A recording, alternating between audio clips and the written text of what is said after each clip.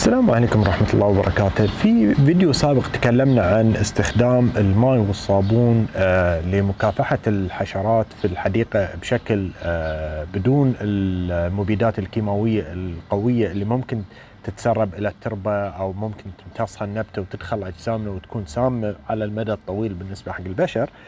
آه، السبب أن أنا تكلمت بس عن الماء والصابون لأن هاي اللي كان متوفر عندي وقتها. ولكن مؤخرا حصلت في السوق اللي هو زيت النيم اللي هو يصنع من أه شجرة النيم اللي هو يصنع من ثمر أه شجرة النيم. شجرة النيم أكثر شيء يعني تكون متواجدة في في الهند وهذه المنطقة من القارة الآسيوية. أه هني موطنها الأصلي.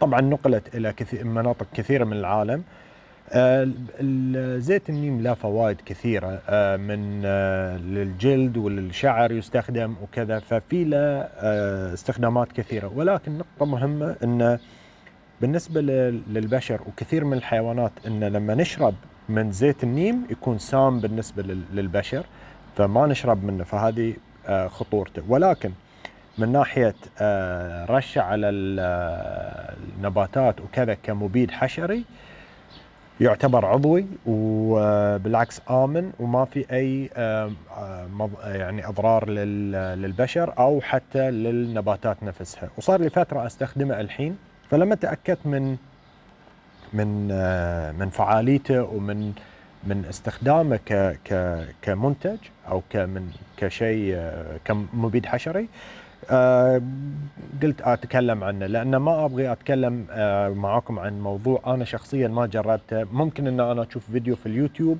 وأرد أنقل لكم الرسالة وهذه أنا شيء ما ما أحب أسويه لأن إذا أنا نقلت شيء معناته هذا شيء أنا جربته وأعطيكم من تجربة شخصية وأقدر أدافع عن الكلام اللي قلته وأقدر أبرر الكلام اللي قلته. أما إذا أنقل نقل شفوي أو حرفي هذه يقلل من مصداقيتي لكم.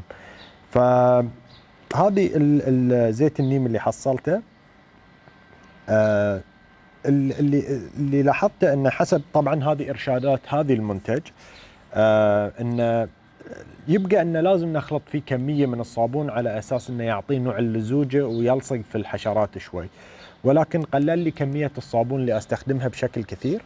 آه فأستخدم تقريبا اللي هو 5 ملي اللي هي 1 teaspoon 5 ملي مقابل كل لتر من زيت النيم وأيضا 5 ملي اللي هو 1 table 1 teaspoon عفوا من الصابون في كل لتر ماي أخلطهم وأرش النباتات على الحشرات وكذا.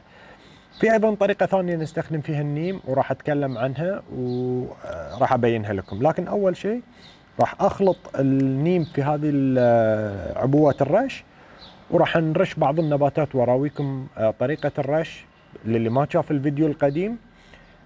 وراح نتكلم عن الاستخدام الثاني لزيت النيم للحشرات اللي في تكون في الأرض أو في التربة.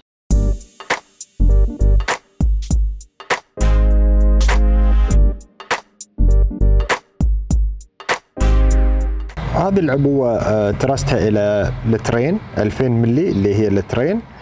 وخلطت فيها مثل ما راويتكم النيم. وكان من أساس فيها الصابون كنت زدته قبل لا آه، أزيد النيم. مثل ما إحنا شايفين هني عندي الحشرات اللي هي ال aphids السوداء أو ال black aphid. وألاحظ في بعض التحركات للنمل الأسود. اللي أنا أعرف إن هي قاعدة هي اللي تنقل ال aphids وتحطها على النباتات لأن مثل ما ذكرنا إن النمل يتغذى على إفرازات ال aphids وال aphids تتغذى على النبتة. فالنمل هو اللي قاعد يسبب لي هالمشكلة ولكن أنا أبغى أكافح المشكلة عموما. فاللي راح أسويه إني أنا حطيت النيم والصابون في الغرشة أو العبوة وأبتدي ارش النبتة ولكن ضروري أن اتاكد أن ارش من الأسفل لأن الحشرات عادة تكون في أسفل الأوراق. فأتأكد بس إني آه، ارش النبتة بشكل كامل من فوق ومن تحت وأتأكد أن حتى ال ال الأغصان وال وال والساق أرشة على أساس تحركات النمل أقدر أقللها أتأكد إني رشيت النبتة كلها وأتأكد إني رشيت آه الساق والأوراق كلها من فوق ومن تحت آه على أساس بس أتأكد إن قضيت على الحشرات اللي موجودة والنمل اللي قاعد ينقل الحشرات و آه يعني عموما أي حشرات قاعدة تضر النبتة. هذه العملية أسويها مرة في الأسبوع وراح أتكلم معاكم لو لاحظت كيف آه لو لاحظت إن الحشرات ردت في نفس الأسبوع كيف أتعامل معاها؟ هل أرشها مرة ثانية أم إن أتعامل معها بطريقة ثانية؟ بالنسبة لو إني رشيت النبتة مثلا في أول الأسبوع أو في نهاية الأسبوع وبعد ثلاث أربع أيام لاحظت إن الحشرات ردت رجعت، هل أرش مرة ثانية؟ ممكن أرش مرتين في الأسبوع ولكن أنا شخصيا ما أفضل أرش مرتين في الأسبوع لأن أخاف أتعب النبتة ففي طريقة ثانية أنا أستخدمها إني أستخدم اللي هو اللي هو رش الماء يا أن أستخدم يعني عن طريق الرشاش هذه أو عبوة الرش نفسها أستخدم ماي خالي ماي فقط ولكن بضغط عالي اللي أسويه إني أمسك هذه الغصن على أساس ما ينكسر ومجرد رش الماي أزيل الحشرات من النبتة فهي بالماي راح تطيح. طبعا هاي ما راح يبيدها ولكن اللي راح يصير إنها راح تطيح من النبتة وراح يساعد النبتة إن تخلصنا من الحشرات شوي. آه راح يساعدها بدون ما يتعبها إن نرشها بصابون كثير أو بنيم كثير. فمجرد إنه ممكن نتواتر يعني مرة نرش بنيم ولكن إذا خلال الأسبوع لاحظنا إن في حشرات مرة ثانية قاعدة ترجع ممكن نرش بماي ونغسل الحشرات نطير الحشرات أو نزيل الحشرات آه، برش من الماي على أساس ما نتعب النبتة. وفي نفس الوقت إن إحنا نقدر إن نزيل الحشرات في نفس الوقت. فهذه الطريقة بالنسبة إلى إن التعامل في وسط ما بين المعالجة بالنيم أو الماء والصابون حسب التوفر اللي عندكم. إذا رشيت مرة وخلال نفس الأسبوع لاحظت إن الحشرات بدأت ترد ترجع ممكن أرش بالماء إما بعبوة الرش أو آه، إذا عندي آه، مثل هذه القطعة أركبها على ال hose عندي في البيت وارش بها على أساس انه آه، أغسل الحشرات وأزيلها عن النبتة. الحين راح نتكلم أيضا عن الحشرات اللي ممكن تكون عندي في الأرض، فكيف أتعامل وأستخدم النيم حق الحشرات اللي عندي ممكن تكون في الأرض. بالنسبة إلى إذا أنا لاحظت إن عندي حشرات داخل التربة مثلا من الفنجس ناتس أو بعض الدود اللي في الحش في التربة أنا ما أتكلم عن الدود المفيد في الأرض اللي هي دودة الأرض لا أنا أتكلم عن يرقات الخنافس وكذا اللي تكون بيضة وبحجم كبير وتكون سميكة اللي في الخليج نسميها العاقور. آه اللي تاكل جذور النبت النبتة وتذبح النبتة بدون ما نحس. بالذات اللي عنده آه يعني آه يعني اللي إحنا عندنا في يعني يسمونه الحشيش. ولكن ليس الحشيش اللي في بالكم. ولكن اللي عنده مثل مثل يعني زارع مغطي مساحات بحشيش وكذا فالعاقور يستوي تحت الحشيش أو يعني يتكاثر تحت الحشيش فيأكل الحشيش بشكل آه، كبير ويأكل العروج يتغذى على العروج. فأنا كيف ممكن أعالج الحشرات اللي عندي في الأتربة أو في في الأرض؟ الحل بسيط ممكن أخذ زيلة واعرف قياس الزيلة. مثلا لو قلت هذه الزيلة آه خلينا نقول 5 لتر. 5 لتر فمعناته راح أضيف خمس ملاعق من, النيم حسب الإرشادات. خمس ملاعق من النيم لأن 5 لتر كل لتر ملعقة واحدة. طبعا نتبع إرشادات المنتج اللي نشتريه يعني هذه إرشادات هذه المنتج. ولكن إذا إحنا استخدمنا منتج ثاني آه بعد زيت زيت نيم ممكن النسب تتراوح يعني. ولكن الفكرة اللي أبغى أوصلها إن نخلط الزيت مع الماء في زيلة بالكمية المذكورة حسب المنتج ونصبها في التربة نفسها يعني نصبها كلها ككمية واحدة على أساس النيم نفسه يتشرب ويقضي على الحشرات المضرة. هني نقطة مهمة أحب أذكرها لأن أنا متأكد أن في ناس راح تسأل هالسؤال هل النيم يقتل كل الحشرات؟ لا النيم آمن للحشرات المفيدة مثلا الفراشات دودة الأرض آه يعني آه لو مثلا قلنا العصافير اللي اللي ممكن آه تكون في الحديقة أو الثدييات عندي في في البيت أو كذا النيم ما يضر هذه الكائنات.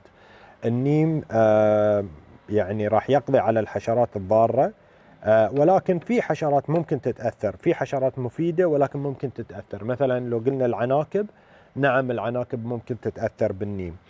ف النقطة الأخيرة اللي حاب أذكرها لكم أن أنا أول ما جربت النيم آه، صارت عندي حالة آه، آه، يعني تجربة جربتها. اللي كان عندي في الحديقة اللي هي الصراصير أنا ما أتكلم عن الصراصير اللي تطلع داخل البيت وكذا لا أنا أتكلم عن الصراصير اللي نسمع صوتها في الليل.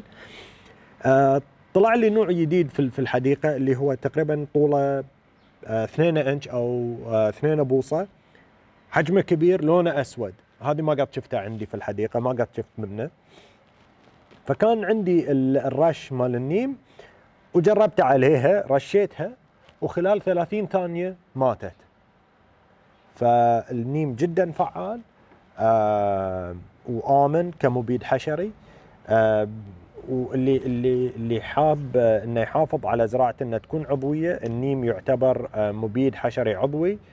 وما في أي مشكلة انه يستخدم كمبيد حشري عضوي في الحديقة. ولو انه في صابون آه، ما في أي مشكلة يعتبر عضوي وما يضر. آه، يعني نقطة اللي بعض الناس يقول لك إنه آه، في ناس طرحت هالنقطة إنه الصابون مصنوع من مواد كيميائية. طيب إذا إذا أنا عندي مشكلة إن الصابون مصنوع من مواد كيميائية أنا قاعد أغسل فيه الصحون اللي اكل فيها. فيعني وين المشكلة يعني؟ إذا أنا هالقد بالنسبة لي الصابون سام اذا لازم ما أستخدمه في البيت ابدا يعني. إذا هو هالقد خطير اذا لازم ما أستخدمه في البيت. فنكون يعني خلينا نقول معتدلين في الطرح. ما نتعصب لفكرة إن كل المواد الكيماوية مضرة. طيب في أدوية مصنوعة من مواد كيماوية. هل نمتنع عن الأدوية؟ هل كل المواد الكيماوية مضرة؟ ف المفروض أن نكون شوي معتدلين في فكرنا أو في آه توجهنا أو نظرتنا إلى بعض الأمور آه يعني بالذات المزارعين اللي يحبون الزراعة العضوية آه نحاول أن نوزن الأمور بشكل أحسن يعني. فهذه بالنسبة لي آه، يعني آه، خطوة جديدة على أو تطوير لموضوع قديم طرحناه اللي هو مكافحة الحشرات في الحديقة. فمثل ما ذكرت هذه نقدر نرشها على النباتات ونرش أو نصبها في في الأرض على أساس ان نقضي على الحشرات اللي في التربة اللي قاعدة تأثر لي على النباتات. آه، وهو آمن جدا وعضوي اللي هو زيت النيم. آه، فأتمنى إن استفدتوا من هذه الحلقة. وإذا في عندكم أي سؤال أو أي استفسار بخصوص النيم أو مكافحة الحشرات عموما أو أي موضوع ثاني ممكن تتركونه في قسم التعليقات وإن شاء الله راح أحاول أجاوب أسئلتكم بأسرع وقت ممكن. وأشوفكم في الفيديو الجاي. في أمان الله.